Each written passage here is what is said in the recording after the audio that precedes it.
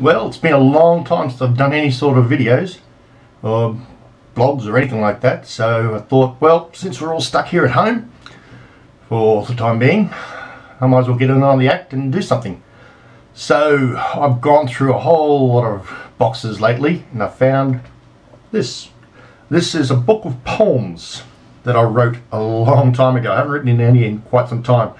And there's poems that are long, poems that are short, some that are funny, some that are serious, some that are silly. Um, bit of everything really. Some rhyme, some don't.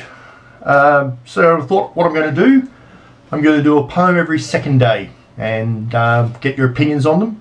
They're all originals. I wrote every one of them. I used to have people give me topics or phrases or just a word and I would write a poem about it. So I'm going to do one today. First one is, I thought we'll do something a little bit funny, or a little bit comical, uh, silly basically. Um, and I'm going to do uh, Feeling Alone. So I'm sure you could probably imagine what that's going to be like. Anyway, I haven't memorized them. They're all written down. So I'm going to read this. And you can give me your opinion. Feeling alone. Drooping down low, just hanging around. This is where it's usually found.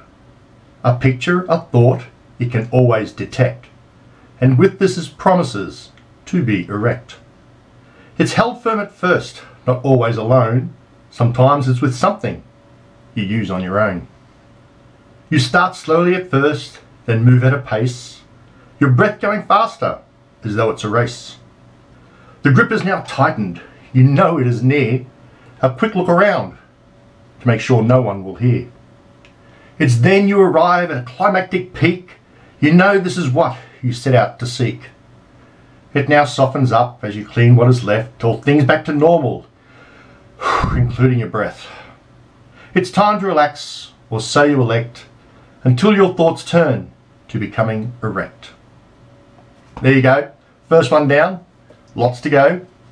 Come back in a couple of days and I'll have the next one up. Might be short, might be long. Haven't decided which one I'm going to do yet. But let me know what you think and um, see you in a day or two. Bye.